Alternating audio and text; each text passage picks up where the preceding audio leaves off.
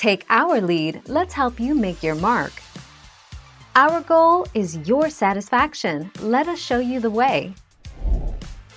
After 11 Fox movies of varying levels of quality, excluding the two in the Deadpool franchise, the X-Men are finally on their way into the MCU fold.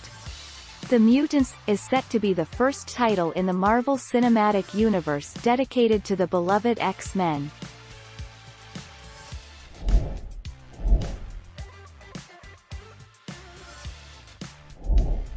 Take our lead.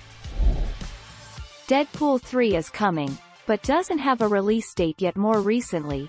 Feige confirmed that, while writers have been hired for the sequel, fans shouldn't expect the movie to be out in theaters anytime soon. Filming on Deadpool 3 isn't set to begin until 2022 at the earliest.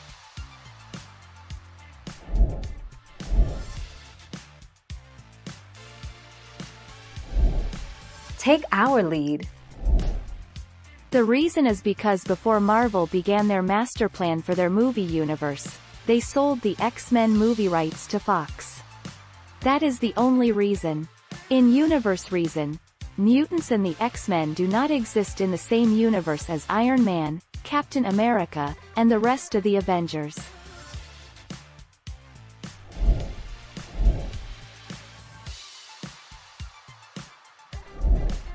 Take our lead.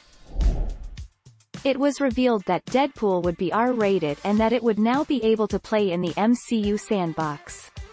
During the promotion of WandaVision, Kevin Feige finally confirmed Deadpool 3 would be part of the Marvel Cinematic Universe and it would be rated R.